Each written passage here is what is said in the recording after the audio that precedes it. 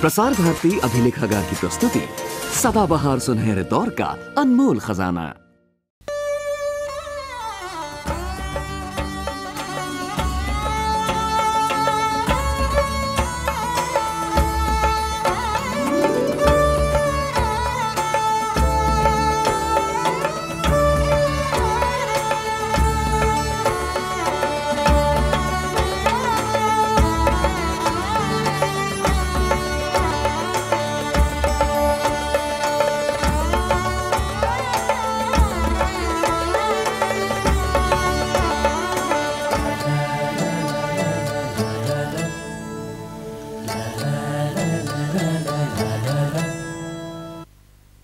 उन्नीसवीं सदी के आखिर तक अंग्रेज़ी हुकूमत के पाँव जम चुके थे हिंदुस्तान में और अब वक्त था चलने फिरने का। बीसवीं सदी के शुरू होते होते गाँव कस्बा और शहर फैलना शुरू हो गए थे। सनती इनकलाब का आगाज़ हो चुका था। रेलों की पटरियाँ लंबी होती जा रही थीं और कोल तार की पक्की सड़कें शहरों से गाँव गाँव ऐसे जोड़ती जा रही थीं, जैसे बूढ़ी दादी पुराने कपड़ों की टाकियाँ जोड़ जोड़ के लिहाफ तैयार करती। लखनऊ से निकलती हुई एक सड़क ने बख्शी का तालाब और खदार यूँ घेर लिए थे, जैसे एक ही बगल में दो बच्चे उठा लिए।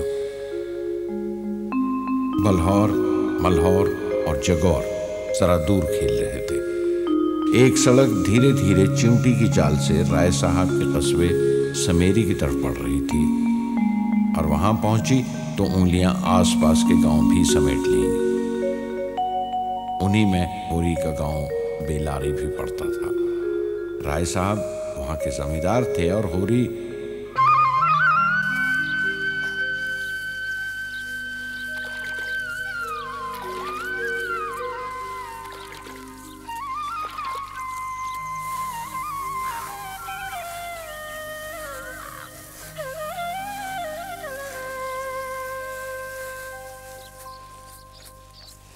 ले खा ले हीरा, मोती तो खा रहा पहले से। ले खा ले ले खा बेटा, खा। खा बच्चा, खा। हाँ। लाओ, निकाल दो जी। कपड़ा, लत्ता, लाठी। हाजिरी भरने जाएँगे मालिक के यहाँ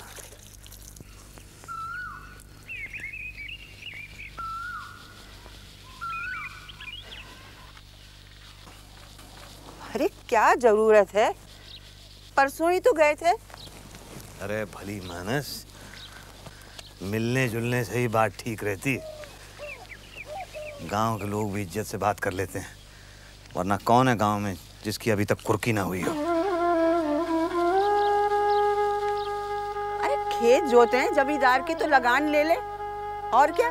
जान लेगा क्या? ज़्यादा बुड़बुड़ ना किया कर। मैं हूँ ना। मुझे संभालने दे दुनियादारी।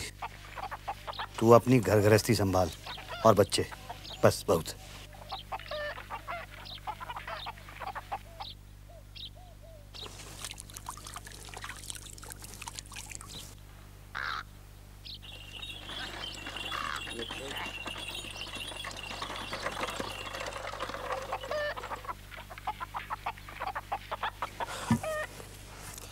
लो। अरे ये क्या पाँच पोशाक ले आई? हम क्या ससुराल जा रहे हैं? और वहाँ भी कोई साली सैलज कहाँ है जो रीत जाएगी? हाँ होगी भी तो क्या?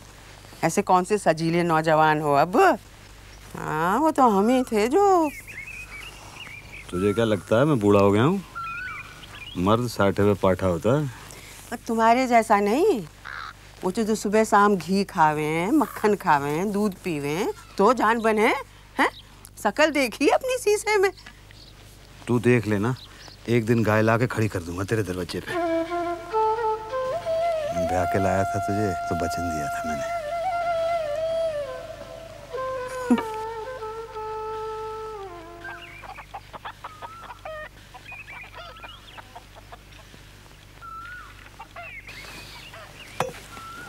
अपना गोबर भी तरस गया दही दूध को।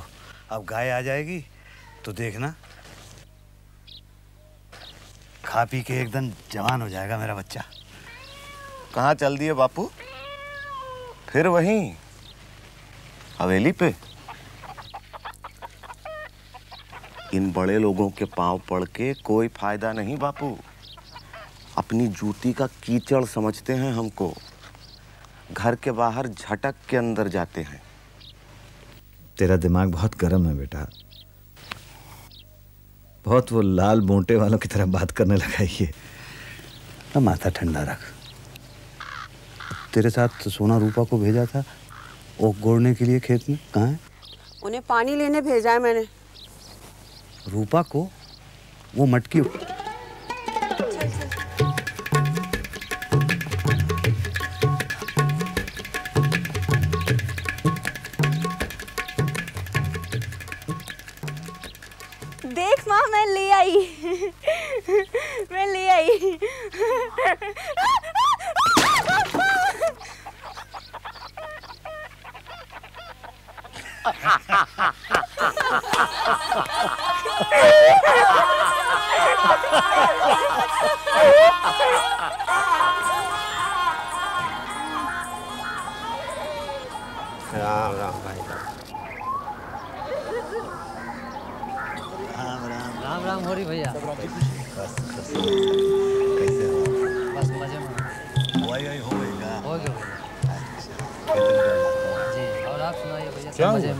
हीरा क्यों उठ कर चला गया? बड़ा भाई आ रहा है ना हो रही।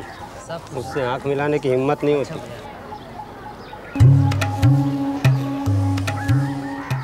अरे राम राम होरी भैया। राम राम। राम राम कैसा अरे कहाँ चल दिए होरी भैया? अतनी राय साहब बुलाए। अच्छा अच्छा। अच्छा भैया राय क्या कर रहे हाँ? हैं मस्त बड़ा मान सम्मान होता है जमींदार साहब के यहाँ इनका। तो है भैया। आदमी है ईमानदार ऊपर से मेहनती। अरे बाप के मरते ही दोनों भाई तो अलग हो गए। अपने अपने हिस्से की ज़मीन लेकर और जो सबसे नखी ज़मीन थी वो उसको पाँच बीघा होगी। और देख लो पाँच बीघा में बारह बीघा की फ़सल पैदा करता है थोड़ी इसीलिए तो भाइयों की हिम्मत नहीं होती आँख मिलाने की। देखा ना कैसे आँख चुरा के भाग गया। थोड़ी मिट्टी में बीज नहीं जान बोता है। सही कहा। सही बात है एकदम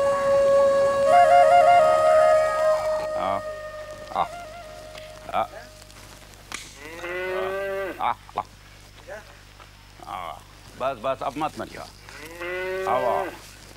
अरे होरी भैया राम राम। राम राम भोला भैया। हाँ तुम्हारी गाँव जा रहे हैं का? अरे नहीं यहाँ हवेली तक ही जात हैं। अच्छा अच्छा। सुने हैं दो नई गैया खरीदी हैं। बाज़ार बहुत चढ़ गया है समझे ना? हाँ। अस्सी अस्सी रुपए के लिए है। हाँ। पर दो ठो दो ठो बछड़िया भी तो मिली हैं साथ में। अब तो खर्चा बढ़ गया।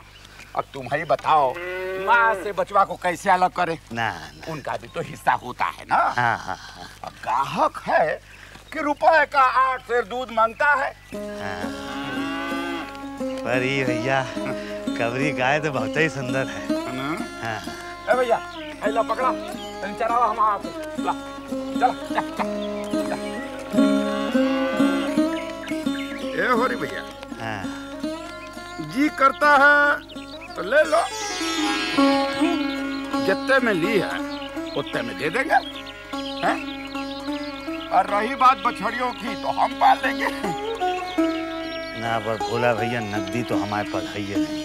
अरे, तुमसे नकदी माँगता कौन है भाई? तुम तो ऐसी बातें करते हो जैसे हम तुम दो हो। ना। अब तुमसे कहा बताऊँ भैया? सुंदर सी गाय देखी तो मन ललचाए गया जितना रुपया घर में पड़ा था सब बाज़ार में रख दिए। अब इतने गाय बछिया को क्या खिलाऊं? घर में चुटकी भर भी भूसा नहीं बचा। तुम तो जानते ही हो दस पंद्रह गाय बछिया ऐसे ही बधी रहती है। अरे तो हमसे काहे नहीं कहा। का? अभी गए रोज हमने एक गाड़ी भर के भूसा यूँ बेच दिए। लो अब सबसे अपना दुखड़ा कार हूँ भाई।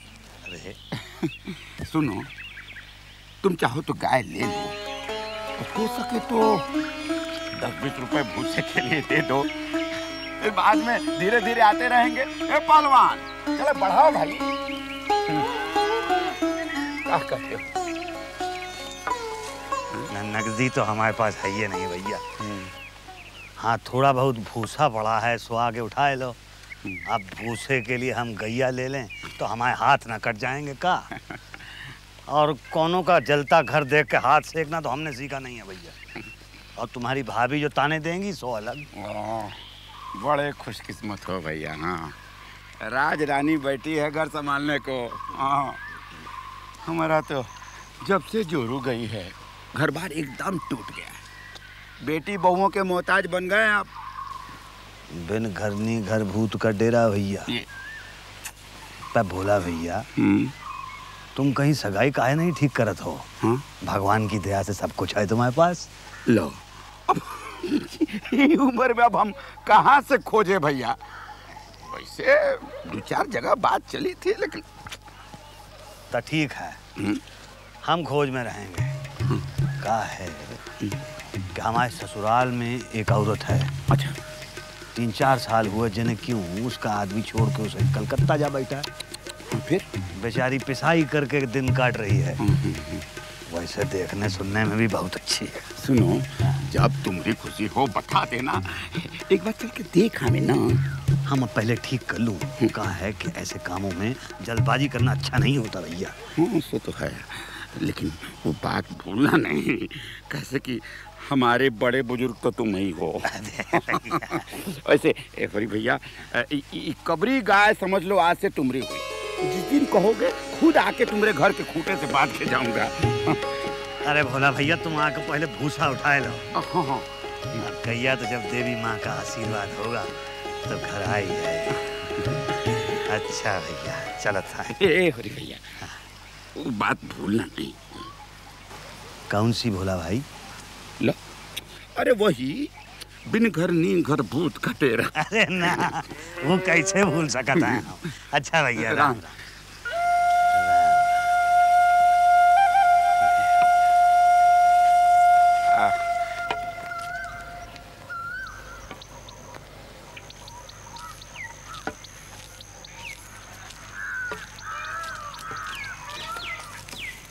पाए लागल। यात्रा शोभा अरे शोभा यहाँ का करत रहा? तुम्हारा छोटा भाई है ना? हाँ हीरा से बड़ा है पर यहाँ का करने आया था? सरकार से मिलने आया था पर सरकार ने कहा किसी और दिन कचहरी में आके मिलना। अभी बहुत व्यस्त है ना। का कर रहे हैं मालिक? पता नहीं कुछ लिख पढ़ रहे हैं। तुम चले जाओ। हाँ। हो।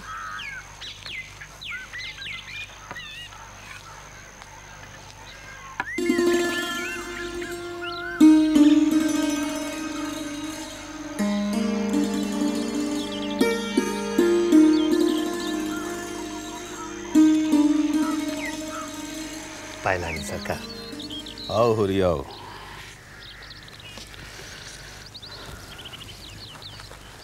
हमारे एक चचा हैं।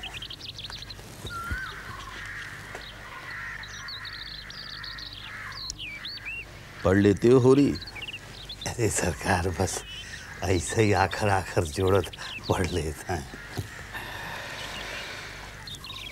हमारे एक चचा हैं जिनको राम से बड़ी अकीदत है। फारसी में रामायण का तर्जुमा कर रहे हैं। कुछ किताबें मंगवाई हैं। वही निशान लगा कर भेज रहा हूँ उन्हें अब आज़ादी के आंदोलन से फुर्सत मिले तो हम भी कुछ विद्या पाठ का काम करें। सरकार सरकार, सुनत हैं कि आप वो काउंसिल साहब की मेंबरी छोड़ के जेल चले गए थे? गांधी बाबा, आपको बहुत मानत। कौन लोग बताते हैं? अरे गाँव में सभी लोग कहते हैं। बहुत इज़्ज़त से नाम लेते हैं आप। अच्छा। हाँ कहते हैं कि गांधी बाबा आपको बहुत ही मानत है। हाँ भाई वो ठहरे महात्मा। कभी कोई सियासत की बात निकल आए कोई काम निकल आए तो पूछ लेते हैं हमसे। अरे सरकार। दीवान जी! मालिक। होरी आया बेलारी से। बड़े काम करता है हमारे। इसे छाछ पानी कुछ पूछिए। जी अच्छा। होरी मैं जरा चलता हूँ। तुम शरबत पानी कुछ पी कर जाना। जी हम भी चलें सरकार। फिर हाजिर हो जाएँगे। ठीक है आना कभी। पाए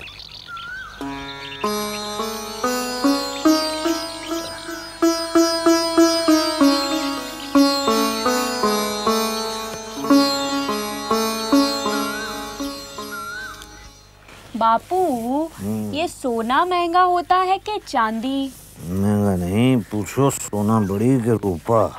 रूपा यानी चांदी। बड़ा नहीं बापू दाम किसके बड़े?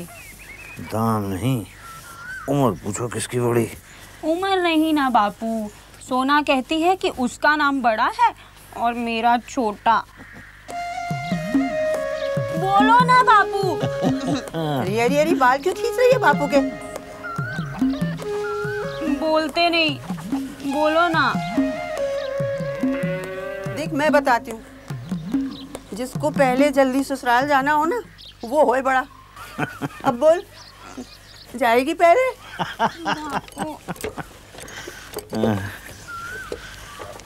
क्या हुआ? राय साहब के उधर। बापू? अरे होना क्या था कुछ नहीं हुआ बस हाजिरी लगवाया है। मुफ़्त की हाजिरी लगवा के क्या मिलता है तुमको? देखो इस बारे में सवेरे भी हमारी चर्चा हो चुकी है।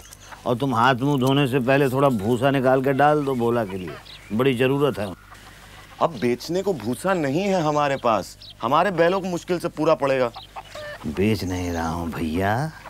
यूँ ही दे रहा हूँ। बड़े संकट में है वो आजकल। नई गाय खरीदने के लिए सारे पैसे उठा दिए हैं। तो गाय दे दे हमको। ये क्या? भूसा हमारा और गाय उसकी? आँख आंजने तक तो दूध दिया नहीं आज तक। गाय क्या देगा? हाँ। जवानी कसम उसने तो गाय थमा दी थी मुझे। पछई गाय की रस्सी थमा दी मेरे हाथ में। अब मैंने सोचा संकट में पड़े आदमी की गाय लूँगा तो पाप लगेगा। इसलिए मैंने कह दिया कि जब पैसे आ जाएँगे तो ले लूँगा फिर थोड़े थोड़े करके चुका दूँगा। और भूसा? मुफ़्त में?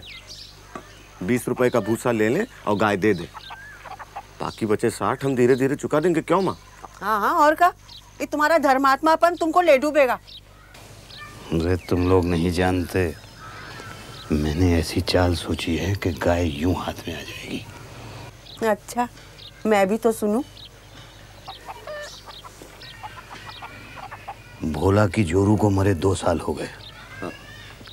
धन बहुत है। वो फिर से ब्याह करने को फिर रहा है। उसका ब्याह पक्का करना है। बस। तो अब तुम उसका ब्याह ठीक करते फिरोगे? यही एक काम रह गया था। अरे मेरी तदबीर किसी का घर बस जाए तो इसमें क्या बुराई है भाई? अजी अस्सी में गाय देकर भी घर भोला का ही बसना है तुम्हारा नहीं। हाँ। बड़े गमखोड़ हैं भोला। तुम्हारी बड़ी तारीफ़ करते हैं। कहने लगे जिस दिन मुख देख लेता हूँ कुछ ना कुछ हाथ लगी जाता है। मैंने कहा हमारी तो कभी पैसे से भेंट नहीं होती। तो तुम्हारे भागी खोटे हम तो रोज तुम्हें मुँह दिखावे।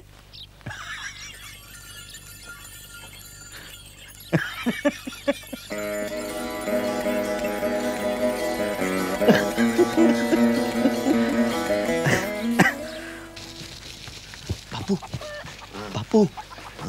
आए हैं। भोला काका। बापू, सुनो ना, पहले मन दो मन भूसा दे दो फिर ब्याह ढूँढने निकलना। है? अरे, आदमी दुआरे खड़ा है। जाओ जाके उसके लिए खाट बाट बिछाओ, थोड़ी बलमंसी सीखो कुछ शरबत पानी पूछो। चल जा।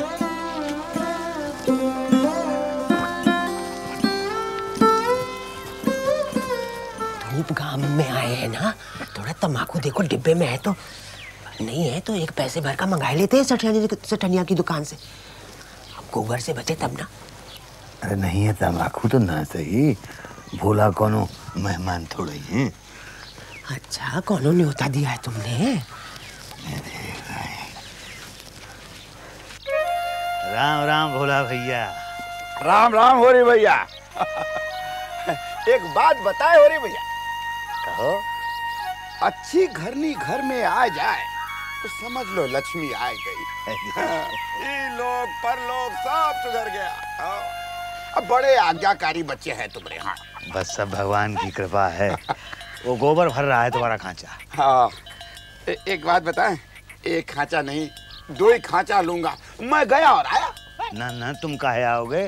गोबर चला जाएगा वहाँ छोड़ के लौट आएगा। अरे नहीं तो खोरी भैया तुम बहुत बड़े धर्मात्मा हाँ। बस जरा कह के आता हूँ। हाँ खैनी लो। ना ठीक हाँ, नहीं। बस। अच्छा। हम्म, हम्म, हम्म, हम्म, हम्म। एक एक मन के दो ही खांचे मांग रहे हैं। तू ही मन भूसा तो गया। और जो गोबर की सुननी पड़ेगी सो अलग। कोई फूल पात लेने तो आए नहीं जो टकरिया लेकर आवे। दे रहे हो ना? तीन खांचे भूसा दे दे। का पता गैया की बात बन जाए। जीते जी अपने दरवाजे पर गैया तो बंदी देख लूँ एक बार। ये ठीक है। बाप बेटा दोनों चले जाएँगे। घर तक की पहुँचा के आएँगे।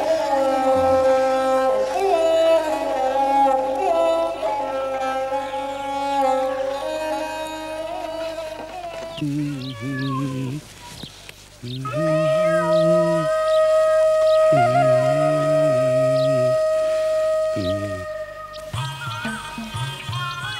बताएँ खुरी समझे भैया सारी गृहस्थी का जंजाल हमरे से। गाय भैंस को चारा मैं ही दूँ धोऊं भी मैं हाथ लेके मैं ही जाऊँ। और दोनों बेटे क्या करते हैं? क्या करेंगे? बड़का है कामता। सौदा लेके हाथ में भेजो। तो आधे पैसे गाय अरे जुए चरस की लत लग गई है ना। और छुटका? छोटका तो संगीत में मतवाला रहता है। साझ हुई नहीं कि ढोल मजीरा लेके बैठ जाएगा। आठों पहर उसी धुन में। क्या करें? अरे गोबर। हाँ बापू। पिटवा जरा ज़ोर से पैर मार बस पहुँच ही रहे हैं। हाँ हाँ बस। तो समझे ना हो रे भैया। अब ले दे के कि बिटिया है झुनिया। भी नसीब की खोटी। हाँ। अरे तुम तो आए हो ना उसकी सगाई में। अरे हाँ भैया। गोबर काका बेटा तूने जुनिया को देखा है ना? हाँ हाँ काका हाँ। हाँ इतना अच्छा वर था। हाँ, बम्बई में दूध का दुकान करता था। अरे दंगा फसाद में किसी ने छुरा भोग दिया। अरे। सारा घर चौपट हो गया। और बिटिया? बिटिया ससुराल में उसका अनादर देखा समझे? तो हम ले आए अपने घर। बहुत अच्छा किया भैया। अब वही देखना है कि क्या करें उसका। ये ये आजा बेटा। हाँ काका। आओ हरी भैया। अरे झुनिया। जी। अरे बाहर आ बेटा। जरा ये भूसे को हाथ लगा बेटा। इधर इधर इधर। संभाल के। आ, आ, ले आओ हरी भैया। अरे बेटा जरा खटिया तो बिछा। आ खटिया रहने दे। जरा गोबर का भूसा उतार आओ हरी भैया आ। आ।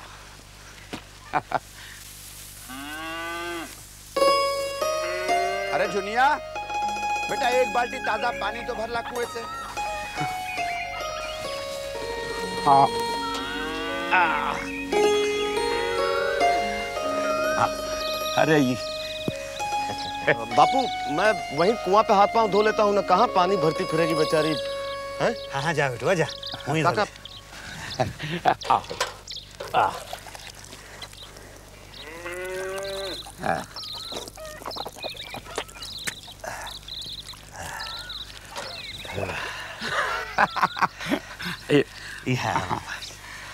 बैठो। बहुत अच्छी हवा बह रही है। हाँ। तंबाकू बनाए? हाँ, हाँ कहा नहीं। बैठो। बनाए ले।